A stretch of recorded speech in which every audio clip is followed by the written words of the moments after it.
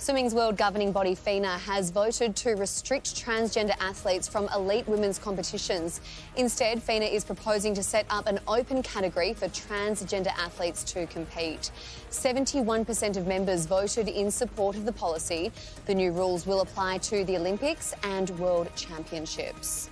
It is a policy that is based on science. It is a policy that we need to introduce in order to protect the competitive fairness of our, of our event. Athletes will now be required to have completed their transition by the age of 12 in order to compete in women's sport.